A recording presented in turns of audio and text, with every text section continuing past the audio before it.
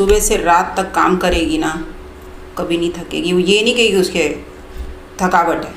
लेकिन मान लीजिए उसको कोई चिंता है, कोई विचार है, बच्चे की फ़ीस भरनी है, कोई इंस्टॉलमेंट आ गई है, पति का काम नहीं चल रहा, अब वो थकेगी। मोटिवेट हो जाते हैं। अपना युद्ध खुद करना चाहिए, बाज बनना चाहिए तो थोड़े दिन के लिए। लेकिन जो रियलिटी है ना, वो वही है। आपको बहुत सिंपल लैंग्वेज में समझाना चाहूँगी। बहुत एक लाइन है कि चंद्रमा को अपने थॉट्स को कंट्रोल कर लो।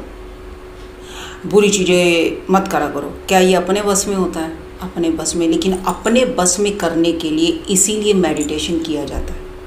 तो कोई बदल सकता है तो आप, मन के विचारों को बदल सकते हो तो आप। तो हम सहारे ढूंढते हैं। कई बार हम गुरुओं के पास जाते हैं, कई हम यूट्यूब पर सुन लेते हैं, कई हम फेसबुक पर सुन लेते हैं। लेकिन अपने आप नहीं मोटिवेट होते। और मैं कहाँ कहाँ से मोटिवेट हूँ? मैं अकल्ट साइंस से, क्योंकि मैं एस्ट्रोलॉजी पढ़ती हूँ दिन और रात। उसके बाद ही मैं इन चीज़ों से निकल, ऐसा नहीं समझिए कि मैं एस्ट्रोलॉजर हूँ तो मैं मैं पहले आप वाली जर्नी ही जी के आई हूँ। यहाँ तक पहुँचने के लिए मुझे बहुत बल लगा कि चीज़ सत्य है।